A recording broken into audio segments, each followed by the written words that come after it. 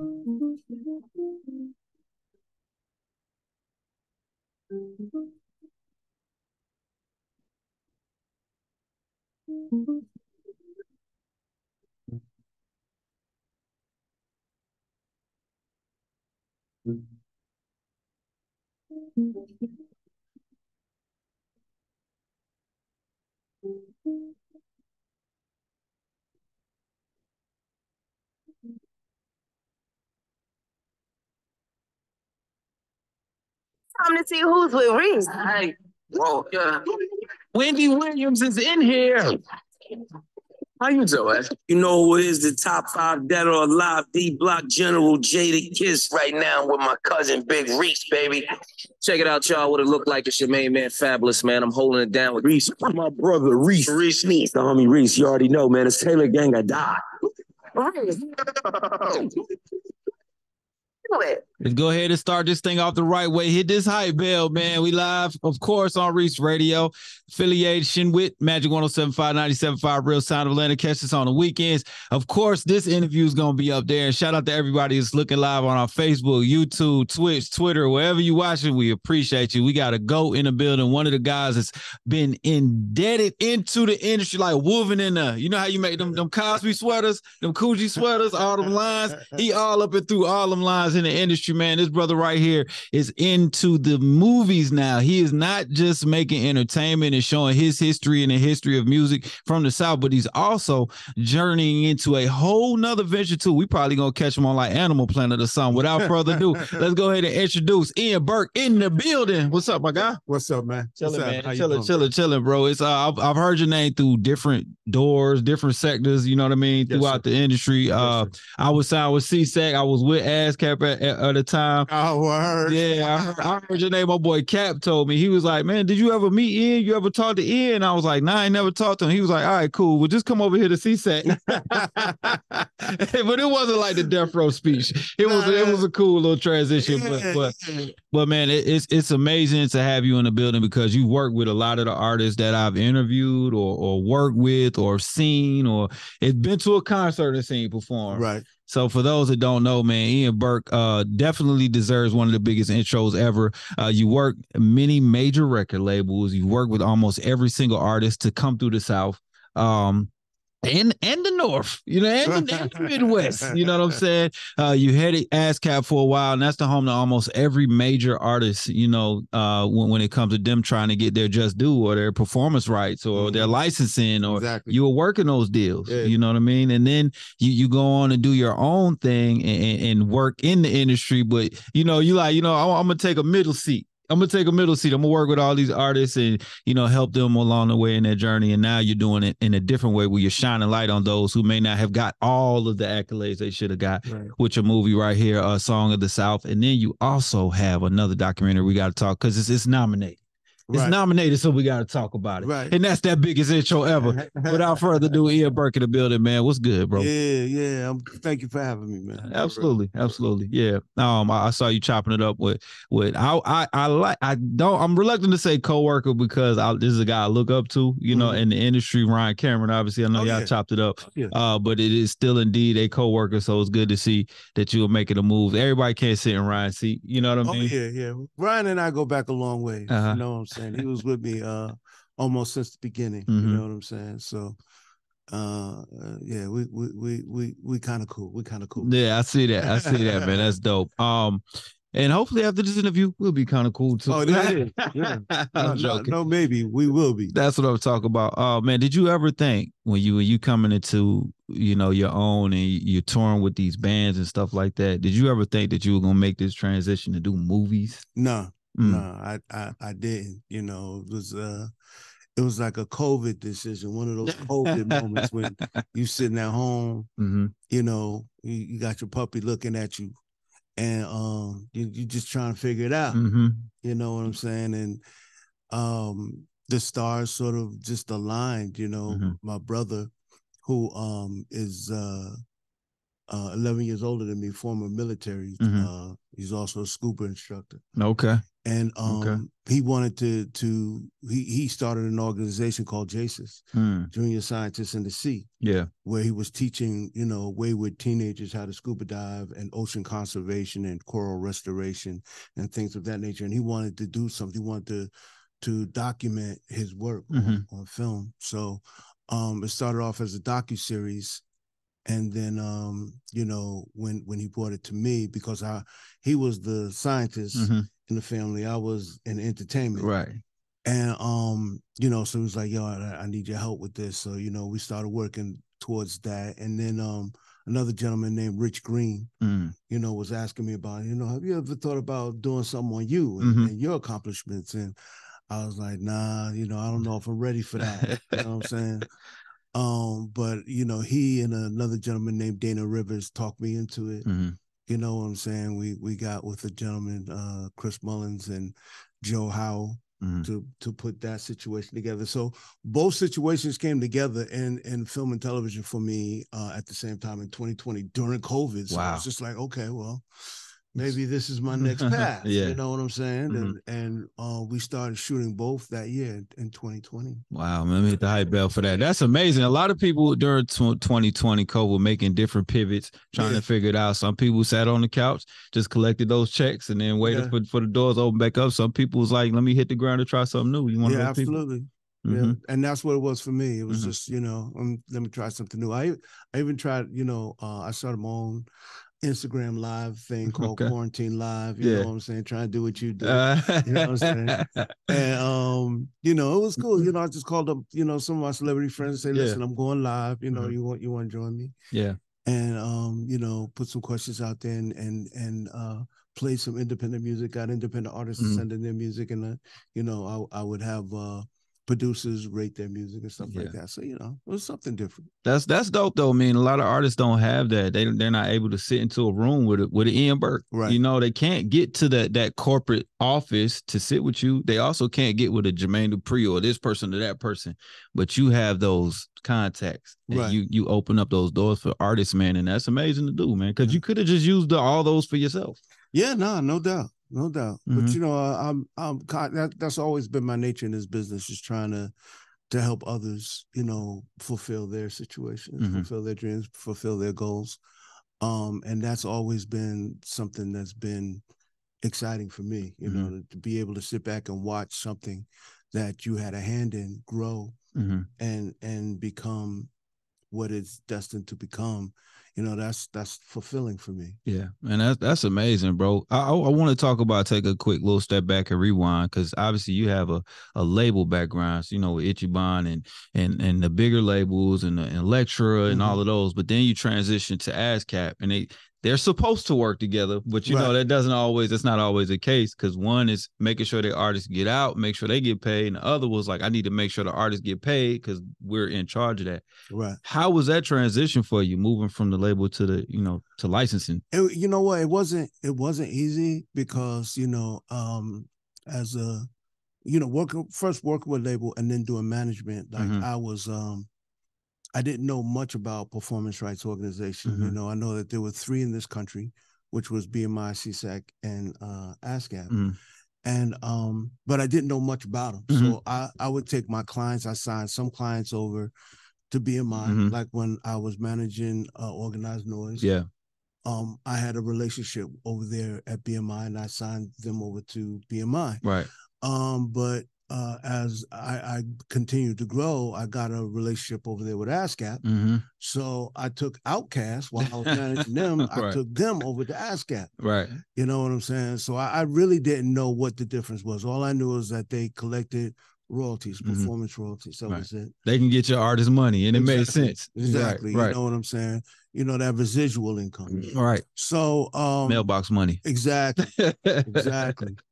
So when I got the opportunity to work for ASCAP, I started learning a whole lot more about Mhm. the performance right role, performance rights organizations and the difference between them. Yeah. And um, that's when I, you know, really became pro ASCAP. Mm. Or, you know what I'm saying? And um, uh, I just started working towards, you know, getting folks involved with with the ASCAP movement. Mhm. You know, Tell me about that. Like, what were some of the things that you learned? Like you said, you learn more. What were some things that you learned that make sense if an artist is watching right now that they should know about performance rights or ASCAP itself? well, um, ASCAP was the first performance rights organization. Mhm. ASCAP was developed by songwriters and music publishers, Mhm. right?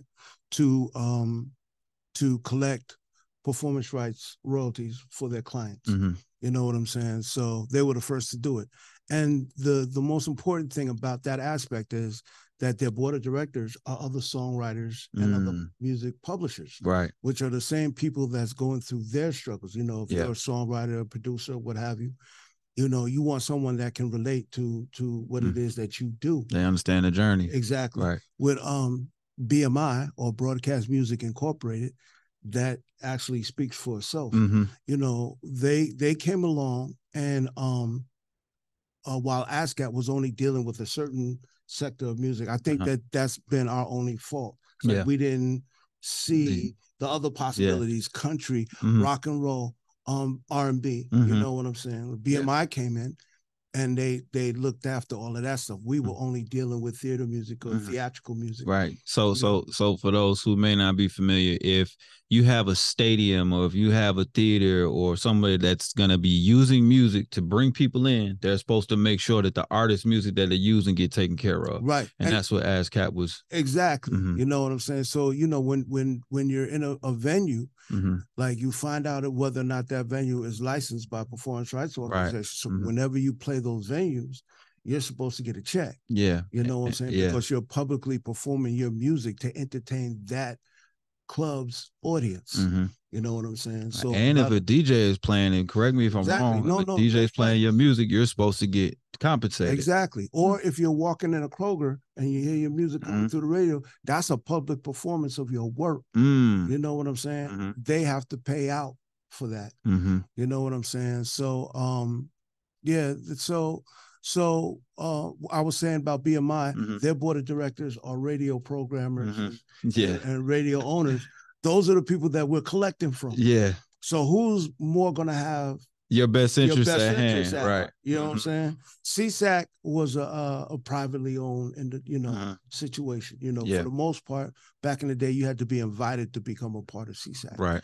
You know what I'm saying? But um ASCAP was definitely the first. It's the only true nonprofit hmm organization, songwriting organization that's out there. Mhm. And that's what made me so um proactive Got you. towards uh the whole ASCAP thing, the American Society of Composers, Authors, and Publishers. Right, man. That's that's some history right there. I hope y'all was paying attention, especially Right. those artists, because like some some of us want to jump into music but don't understand the the business aspect of it. Right, And that's the part that can either hurt you or help you later on. right, Right. exactly. And I'm sure a lot of those artists are very happy that you, you know, brought them over to ASCAP. Oh yeah, yeah, yeah. They, you know, I had a lot of lot of folks. You know, I, I was fortunate enough to work with uh Mm, uh Tricky Stewart, right. his brother Laney Stewart, um, Dallas Austin, Mhm. Jermaine Dupri, Yeah.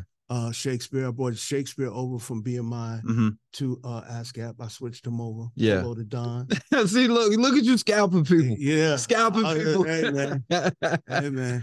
Man, you, you talking about people that are like inside of the music, the fiber of the music, uh, especially when it comes to Atlanta music or South music, and not just hip hop, R and B. It's like everything. Right. You know what I mean? And you're helping those people get those quote unquote publishing deals or, or licensing deals or royalty deals, and helping them eat and feed their families for generations. Right.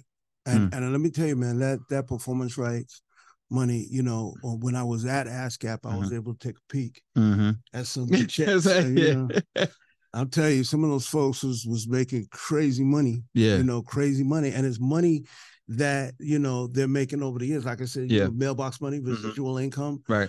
Um, you know, like- I saw checks for three quarters of a million dollars going out per quarter. Or quarter. And that's that might be just for one song or Right. one project. right. that's generating that type of revenue because of because of the performance rights. Like you said, if it's playing in a club, it's licensed venues. Right. If it's getting movies, Yep. if it's Sync playing on licenses, radio, Yep. mhm, ab- absolutely. mhm, you know, we collect for all of that, you know, um, of music and video games, mhm, yep, things of that nature. So any t- anywhere your music is publicly performed, mhm, we collect for that. Yeah. You know what I'm saying? So yeah. That makes so much sense. But you knowing all of this and then taking that information and say, okay, it's so many avenues for income in the entertainment industry. And now you're making visuals, Mhm. which most of these, of course, of course, the- there's one project is gonna have music involved in it. Right. Like you know where to go and where and how to get this thing out. Mm-hmm. Yeah. So tell me how like learning from that, from your industry, uh, you know, makeup, how that transition with the movie part. Well, you know, um, it was for me. It was easy. Like, well, I, I don't want to say easy, but because I'm still learning Mhm. in the film and television. Mhm. But what I did was I took what I learned from the music industry. Yeah. You know, and uh, and, which was connecting the dots, and that that's primarily my job. What you do, right? I connect the dots. Uh-huh. You know what I'm He saying? makes music. They can cut you a check. Let me put y'all together. right, exactly. He writes. He composes. Let me put y'all together. That's exactly what Okay. I did. You know, folks would, would call me and say, "Yo, can you connect me with such and such, such and such?" You know, um, and if it was within my power, that's what I did. Right. You know what I'm saying? So, a producer in films, you Mhm. know, does the same thing. You Mhm. know, you just connect the dots. Yeah. You know what I'm saying? We needed a, a camera person. We needed a, a screenwriter. hmm You know what I'm saying? I- Yeah. I, call folks up and because a lot of folks that were uh, in the business and, and came from Atlanta knew Yeah. my background in Yeah. music. Right. They know You you're know what I'm saying? legitimate in the They knew- space. exactly. Right. They knew that I was legitimate. So they were willing to to do things maybe for a little bit less than what they would normally charge. Right. Because they know you. you sometimes you'll take less money knowing that you're going to get more in your work. Exactly. Right. Mhm. Exactly. And so that's what I did. That's that's how I was able to uh transcend or or, or make the the Mhm. the transition. Right, right, right. Right. Um, and yeah, you know, that's how it became. It worked out. It worked- it It worked worked out. Yeah, so now you know we we we have the aquatics Uh-huh. that that we did. My brother's project, Mhm. which was supposed to be a docu series, became uh, a scripted TV show. Wow. Um, my partner Dion Kubas uh helped uh, helped fund the the next round. We we did two shoots with that. Yeah. Um, it's an episodic TV show. Okay. And um, you know, we had a great cast uh, of young teenagers who my brother taught how to scuba dive. So, you Wow. know, some of them we had to teach how to scuba dive. Yeah. Others already knew how to scuba dive. Mhm. And we we shot this great show. And um, so far we've we're we've done two film festivals Mm. so far. The Yeah. um uh Sunscreen Film Festival in, in St. Petersburg. Mm-hmm. Yeah. And the Bronze Lens Film Festival Yeah. here in Atlanta. And we're doing one more film festival, the Black Film Festival here in Atlanta. Yeah. uh, in October. Um, at the Bronze Lens Film Festival, we were nominated Yeah. for Best Feature. Yeah. You know what I'm saying? So that that within itself, you know, it's like validation. Yeah. I mean, there's so many positive, good fibers in that. You're talking about you got teenagers that uh, need a better way. They need to find out a different way to do things because Right. they're going to end up in trouble. Right. Some kind of trouble. Yes. You got your brother who has the experience and the knowledge to be able to teach it. And then you guys are, uh, I want to say, I guess, relatable enough for them to be able to accept the information. Right. And then y'all are able to put this on paper and show the world, like, hey, you don't have to be a, you don't have to hoop, you don't have to rap, you don't have to do this, you don't have to do that. You can get in this water and make a living too. Absolutely. Mm. Black people do swim. yeah. You know what I'm saying? I mean, unlike what we see on Instagram at pool parties, we do get in the We- we water. do get the water. We learned that in Alabama when a Right. boy jumped in that water and Right. swam to that dock. You know what I'm saying? right. Black people swim. We You swim. know, and they they scuba dive as well. Right, right, man. So that's amazing, and to be able to work with family, like you say, your, your Yeah. brother, y'all eleven years apart. Y'all could. Really, is this the first time y'all really got to connect in in a in a work Yes. sense? Yes, Mm, it's very very first time. mm, Um, which was amazing. mm. You know, That is, it is. my my brother. Um, you know, uh, have, have you seen the movie Men of Honor yeah. Uh huh. with Cuba Gooding, Yeah. Rob De Niro? Yeah. Well, that character that Cuba played in that movie Mm. was my brother's mentor. Oh Navy. wow. You know Okay. I'm saying Okay. he was the first Yeah. uh Navy salvage diver. Yeah. That that I forget his name. I forget the gentleman's name. But but Cuba Gooding Jr.'s character was Uh-huh. the first. Yes. My brother was the eighth Wow. in the world. That's the history, country. bro. You know what I'm saying? Yeah. So um yeah, you know, so he's been able to, you know, solidify his position Yeah. in history, as you said. Right. So, you know, and and, and I've been able to do my thing. Mm-hmm. So for us to be able to to to put our heads together Mm-hmm. and make it work, Right. It's a blessing. Right. Who would have thought a Marine scuba diver and a, a, a industry vet would come together to make a film like this? It's a- Exactly. and, and be brothers. That's a beautiful thing. That's a story within itself. Right, right, right. I right. we smell might a need to spin-off, document that. Yeah, absolutely. Uh, tell me about the other film, Songs of the South. Um, I, I know, I know. Um, you got pretty much your whole Rolodex in this thing, man. Well, yeah, you know, like like I said, a gentleman by the name of Rich Green came, brought it to me. Yeah. And um I I was a little reluctant, but I told him as long as I could do it my way, you Mhm. know, the way I because you know, I, I didn't want to do like one of these these short things. Mhm. I, I had a lot of my, my career had a lot of twists and turns. Right. But the the important thing for me was is not it wasn't just about me. Mhm. It was about the city of Atlanta and how we came to be nec- uh, recognized Yeah. as the musical mecca, uh, uh, uh, not just of the South, of Yeah. the world. Yeah. You know what I'm saying? And um, so you know, I I, I likened it to, and I, I'm no Michael Jordan, Mhm. but I likened it to The Last Dance. Yeah. You know Yeah. what I'm saying? Because even though it was the the the documentary itself was about the last season Right. of the Bulls. There was so many other And there was so many other are- aspects. And of course, Michael was to play a key figure Right. in that whole situation. Right. You know what I'm saying? So I wanted the the film to to to expand on the Atlanta music scene and Mhm. how the explosion happened. But there's so other many, a lot of different people, a lot of different characters Mhm. along the way Right. that needed to be showcased. And of course, this is my view Yeah. of how because there's a million different stories. Right, there. right. Everybody has their own story of how they feel hmm the South had arrived Right. or Atlanta had arrived. This is my story. Right. This is the way I saw it and how I perceived it to be and my involvement in it. Yeah. You understand what I'm saying? So um that was how I wanted the story to be told. Yeah. You were in the inside and able to get a, a bird's eye inside, but also get a bird's eye view looking in. Because you weren't actually the artist, but you were the person connecting the artist. Exactly. You were the person making sh- managing and and uh, no disrespect when I say this, babysitting these acts to make sure they get to where they need to be. And then you were on the other side of, of it as well to making sure that people get checks and get this and get that. So right. it's a great perspective to be able to tell these stories, man. Mhm. Yep. And because a lot of people think uh the South jump off started at the Source Awards when Dre got on stage, It's but it, it was already bubbling before that. bubbling way before that. You Mhm. know what I'm saying? I mean, back in the early 80s, Jimmy Jam and Terry Lewis got fired hmm from the time doing production here in Atlanta. Yeah. You know what I'm Mhm. saying? Working on the SOS Yeah. and uh, the SOS band and, and things of that that nature, creating hit records for them.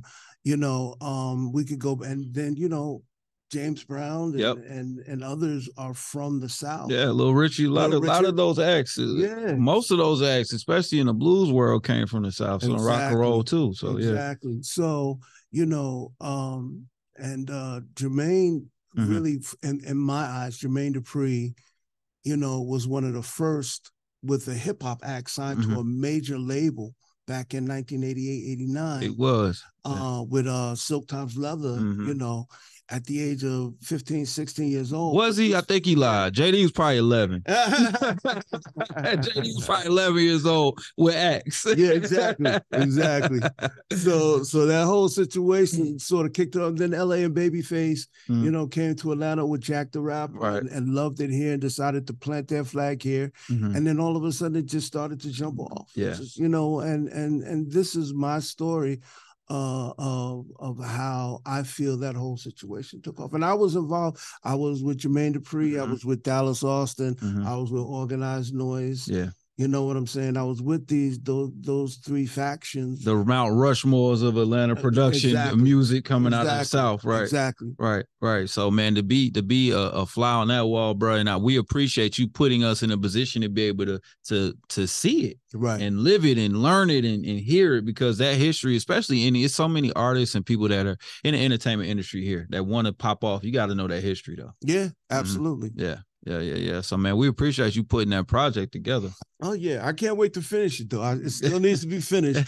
You know, I got uh, over 30 interviews Mhm. already shot, but you know, I need to do um post production and, and the way I wanted to do it was a, a mini series. Like Mhm. if I don't know if you recall the uh, Dr. Dre, Jimmy Iovine, Yeah. Uh huh. uh, Yep. series. The aftermath. Yeah. Yeah. Yep. Uh huh. Yeah. Uh, I wanted to do something like that, like a four part miniseries, Yeah. you know, that we, we put out and we cover different areas and different aspects of Yeah. how the South became Yeah. the most influential uh, uh, Mhm.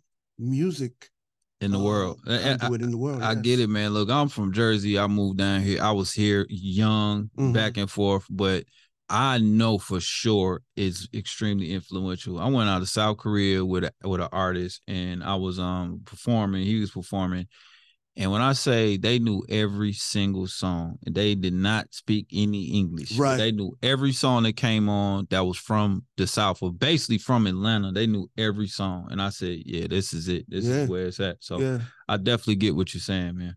hmm Yeah, so man, y'all make sure that you guys uh stay in tune with Ian. Uh what what where can everybody follow you at on, on social? Everybody can follow me um on uh Instagram is at Ian F Burke, I A N F B U R K E.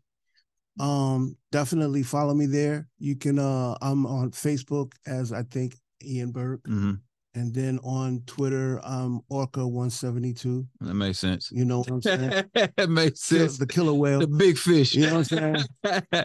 Hey, Uh, I, I, I do want to ask you this. Um, what was one of those moments that you realized, and and being in it is probably a bunch of moments. but One of those moments that stick out to you where you realize, like, wow, the South does have something to say. It's about to be on and popping out here Oh. with the music. That's easy. That's easy. Mm. Um at the I think it's 2003 Mhm. Grammys. Yeah. and um I was there uh when OutKast won album of the year. Mm. You know what I'm saying? Mm-hmm. That was a pivotal moment, Yeah. Period. Yeah. Like I was just like, wow, this is unbelievable. Album of the year. No other At the group has done Grammys, that. At the no Grammys. group has done that, and The- especially the- not in hip hop. It's Right. hard for hip hop artists to win a Grammy. Period. Right. Album of the year. album of the year.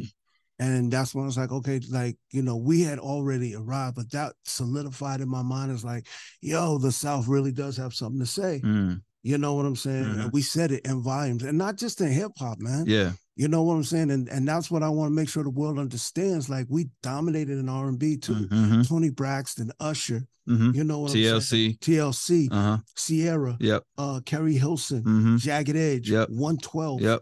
You know what I'm saying? This just and this is just Georgia acts. yeah, You talking about Beyonce from Texas, the South, but she still she still made her bones here. She Right, can't that's what I'm saying. stop here in Atlanta. right? Chris Brown, Virginia, the South. Right. I get it. You know what I'm saying?